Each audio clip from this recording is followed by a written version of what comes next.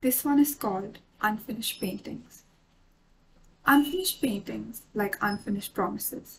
I'll finish the piece if you meet me halfway.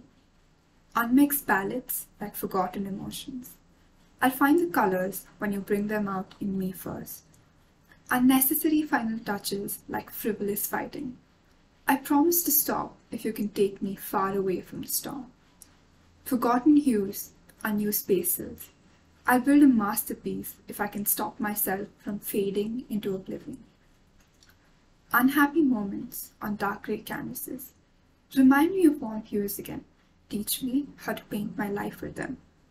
Unreached accomplishments slipping further away, like picturesque references saved on deserted boards. New shiny tools for me to use, lost potential to a crumbling world. Unfinished patient paintings testing my patience. How far can you strive before it destroys you from the inside?